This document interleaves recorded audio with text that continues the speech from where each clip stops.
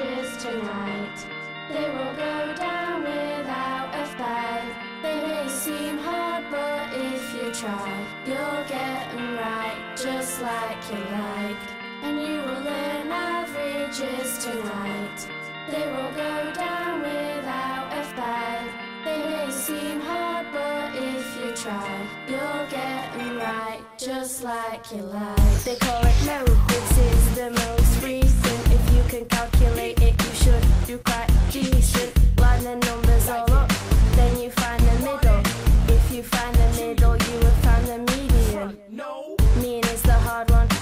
to add them up. Divide the answer by how many there is.